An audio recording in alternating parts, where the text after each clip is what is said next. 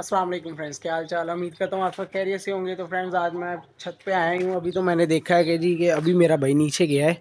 उसने ना ये सारे चूज़े खोले हुए थे। इनको पानी वगैरह डाला। ये देखिए कितने शौक से पानी पी रहे हैं जी।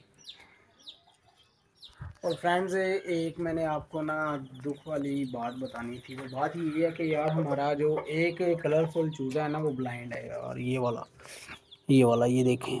ये ब्लाइंड है जी दोनों आँखों से। इसको दिखता ही नहीं है। दोनों आँखों से ब्लाइंड है यार ये, बेचारा। इसको किसी भी तरफ़ से दिखता ही नहीं है, जो मर्ज़ी कर लो, इसको दिखता ही नहीं है। इस आँख से शायद थोड़ा सा दिखता है, लेकिन कुछ खा पी नहीं रहा अपनी आप। तो बाकी सारे देखे कैसे नीचे घूम रहे हैं, भाग रहे हैं, लेकिन ये वाला ब्लाइंड है। तो चलिए फ्रेंड्स अब अपने पिजन्स की तरफ़ चलते हैं। ये देखे जी, माशाल्लाह जो बेबी है, वो बड़ा हो रहा है। इनके अंडे जो थे, वो मैंने चेक किए थे, वो ख़राब थे, मैंने ज़ाया कर दिए वो वाले, इनके, माशाल्लाह बेबी देखे कितने बड़े हो गए हैं। और बाकी सब भी अभी लाइन वाइज लगे हुए हैं। इनके पता नहीं कब बेबी मिलेंगे तो चले जी, दूसरी तरफ़ चलते हैं जी। ये देखे जी, मैंने इन दोनों को ना इधर बंद किया और ये दोनों ना इधर ज़रा मसरूफ़ हैं। ये सारा को ना, यानी कि ये खेल रहे हैं इधर इनको मैं खेलने देता हूँ, बंद कर देता हूँ, ताकि दूसरा कोई परिंदा ना इनको आगे तंग ना करे। ये देखे जी, हमारा शाका इधर ही घूम रहा है। शाका सॉरी, रामलाल। रामलाल हमारा इधर घूम रहा है और बाकी परिंदे मेरे जो से हैं ना, वो सब उस साइड में बैठे हैं। अभी देखिएगा, मैं इनको कैसे बुलाता हूँ।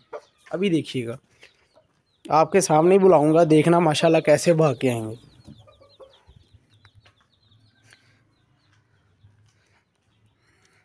देखना। अभी देखना मैं आवाज़ लगाऊँगा और कैसे आते सारे भाग के।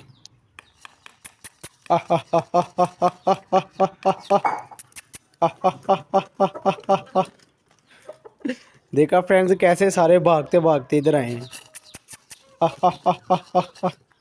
ये देखे जी, ये बेसिकली ये मेडिसन है इनकी, मैं वैसे इनको बुलाने के लिए ना आपको दिखा रहा था, देखे कैसे इधर आ गए हैं। सर, इसको मैं वापस रख देता हूँ। तो फ्रेंड्स जब मैं छत पे आया तो मैंने देखा कि यार मेरे घर वालों ने ना इनको रोटियाँ भिगो के रखी थी, सारी काफ़ी ज़्यादा थी।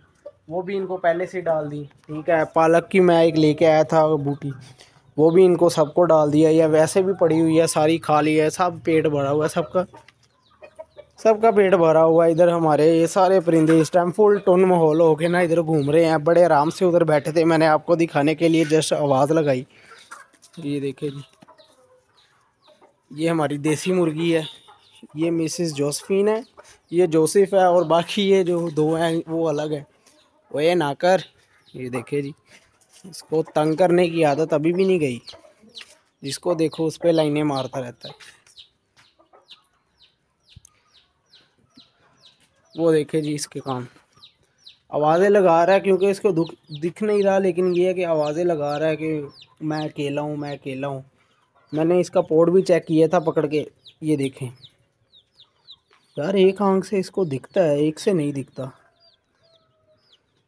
चलिए फ्रेंड्स मैं इसको हैंड फ़ीड कराने की तो कोशिश करूँगा क्या पता यार ये बच जाए, बचाने की तो उसको कोशिश करूँगा मैं। कोई बात नहीं, अगर एक आग ब्लाइंड है और एक से दिखता भी है तो तो ये बच जाएगा, पल जाएगा फिर तो। तो फ्रेंड्स आज की वीडियो मैं इधर तक ही बनाऊँगा। आज का वीडियो यहीं तक की, क्योंकि मेरे घर वालों ने इनको दाना, पानी, सारा कुछ तो डाल दिया। अब मैं इनको क्या डालूँ? मेरी तरफ़ तो ये आएँगे नहीं, मेरी तो ये आवाज़ भी नहीं सुनेंगे।